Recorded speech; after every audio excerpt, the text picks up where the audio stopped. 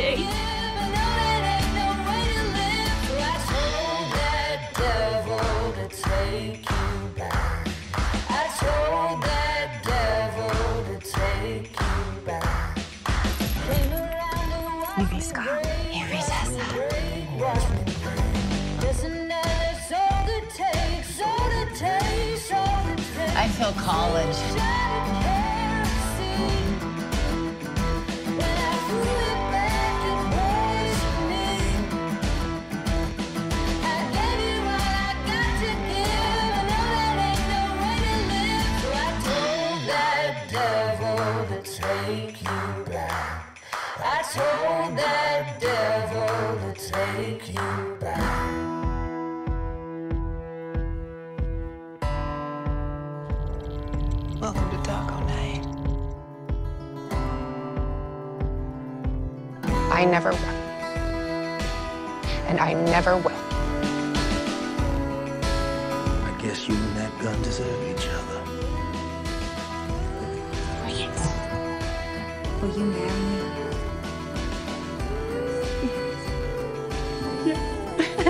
The affairs of man are no longer my concern.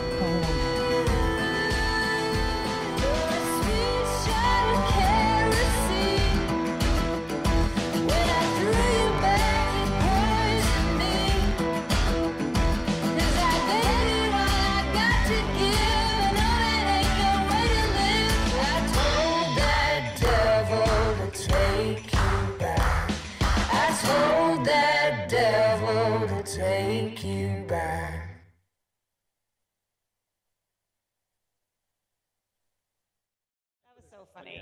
It's all about the vibes in the room, you know?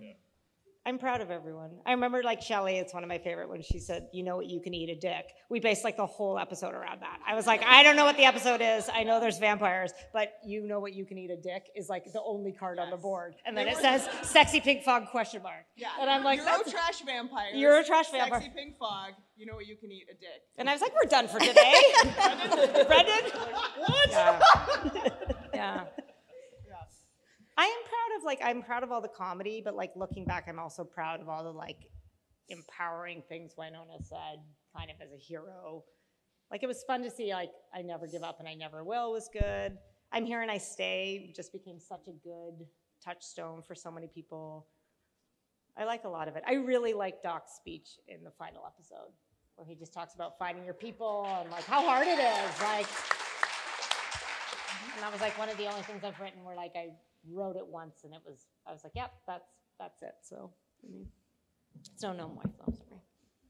I mean, yeah, I, I would say the Nicole and Nedley speech at the end of Gnome Wife, after you've been doinking along for like 43 minutes, and then it's like, cry, cry, cry. but I did really feel like, you know, I came from a really horrible work situation into the Wynonna room, which was like the complete opposite. And so that speech of like everything good I have in my life is because I came back to the Ghost River Triangle was really my sort of like attempt to thank the show and you guys for getting me out of that hellscape and bringing me into your beautiful room and family.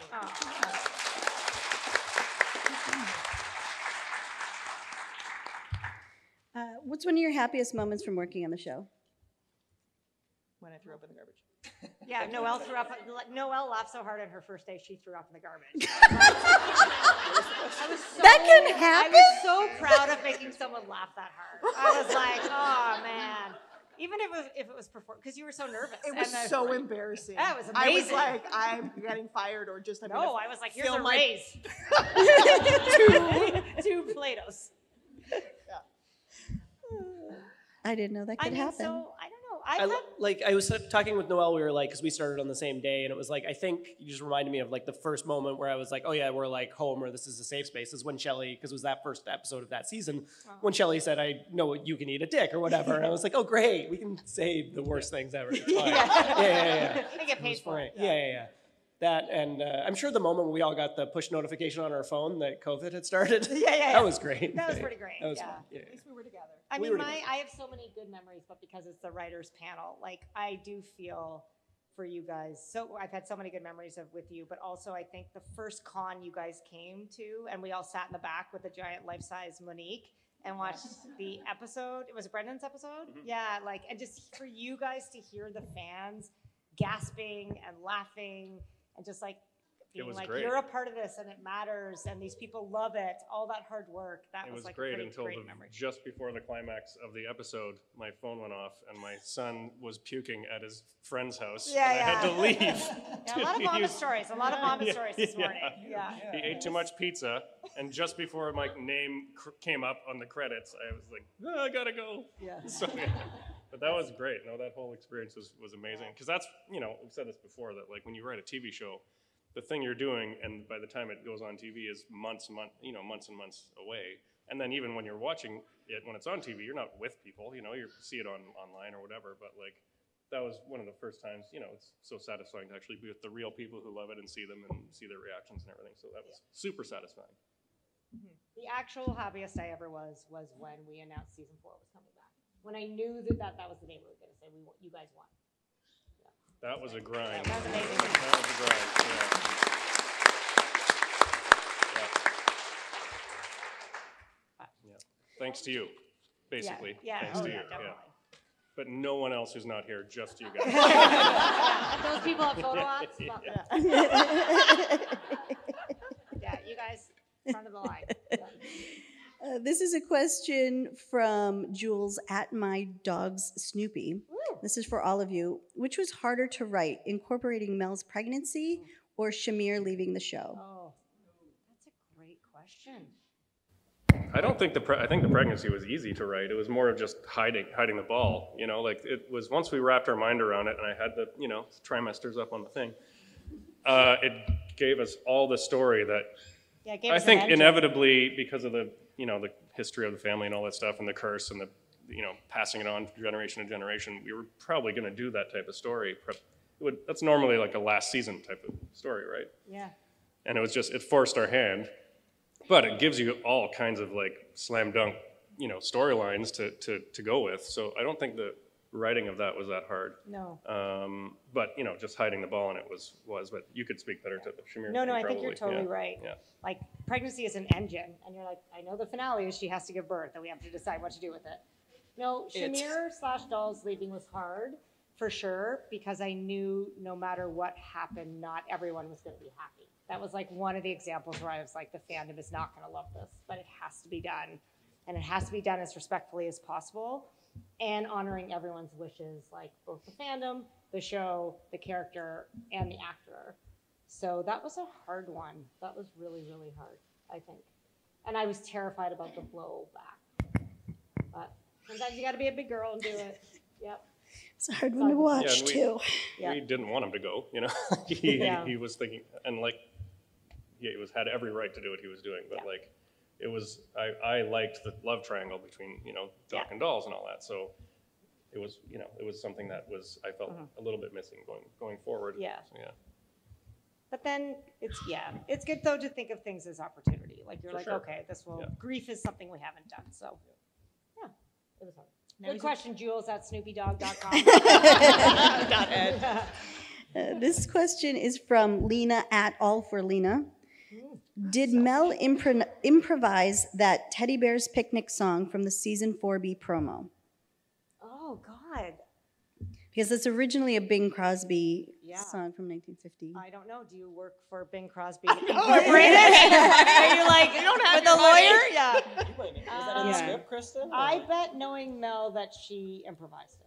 Yeah, probably. Christin might know. Oh, Christin, Was do you remember? My my shoulders are going up like this. I know. Was because- it because it was a promo, right? Yeah. So because so we don't write the promos exactly. Mm-hmm. I wonder. I really I don't even remember because typically if you have any kind of music in a in a Yeah. script that someone is going to perform, it is like a big deal, and you have to Oh, go that through was a big- clearances and stuff. Yeah, that was a big deal for Mambo number Yeah. five because like Varun slash Jeremy had to say the lyrics, but he couldn't really sing the lyrics. Like it's a real gray area. So um, I'm gonna say it's Mel's fault. Yeah. no, she's not here. No, I'm kidding. All right. I'm going to let y'all off the hook. This is the last question. If you have children in the room, cover their ears. They gotta learn. They gotta learn. Emily, in season four, the rating turned to TVMA, oh, which allowed for steamier content, aka the stair sex, mm-hmm. and stronger language. Mm-hmm. Exactly how many fucks did switching to TVMA allow you per episode? Oh my god. It was it was three fucks. Was it three Is it three? Thank God for Christin. But I think it was like a sliding scale, so we could save up some of We our saved fucks. up some fucks. We yeah, because definitely Waverly did. Yeah, we're banking. We always bank fucks at fucks. You gotta bank fucks. We You definitely save save up some fucks for the finale. Yeah. Because of fuck you, fuck you, fuck you, not you, sweetie. we were like, we need those fucks. Christin, like, put those fucks in the safe.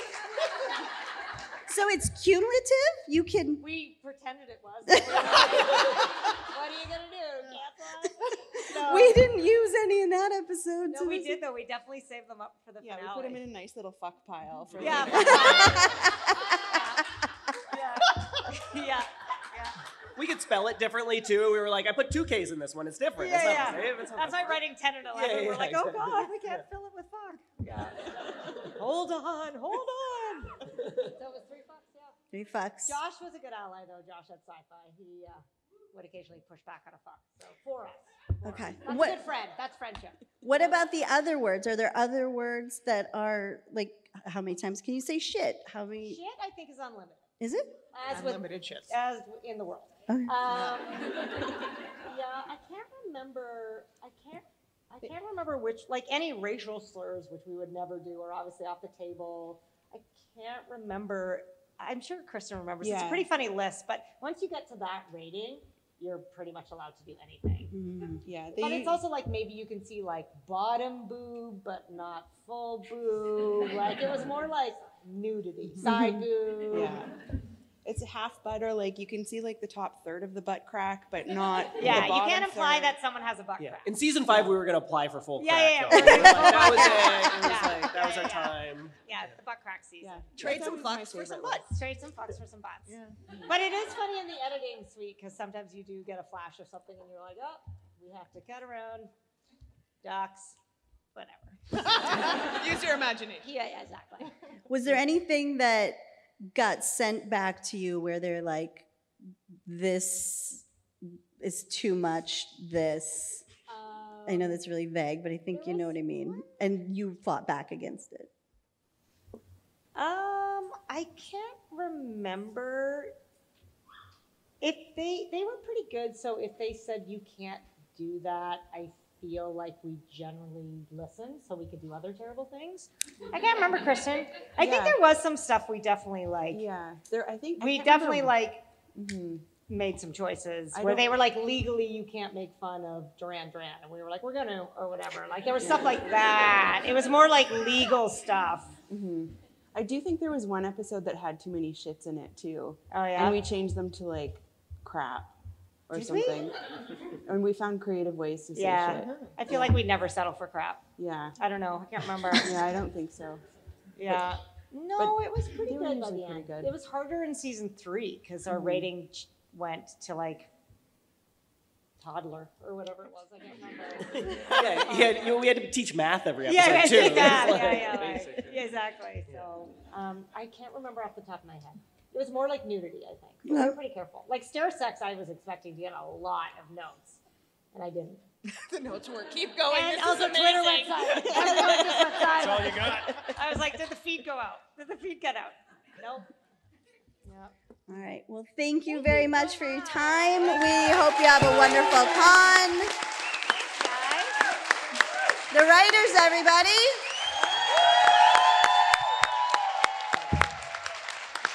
Come see us later if you want. We have all your favorite scripts, and then you can get these beautiful ding dongs to sign them as well if you like, okay? One day only, one day only for these guys, so.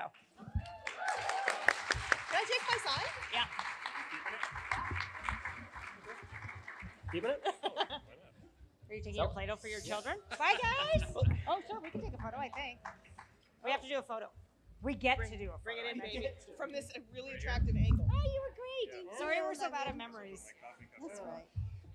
Get in. You did great. Are you doing a bunch this weekend? Yeah. Yeah, good. You're going to be amazing.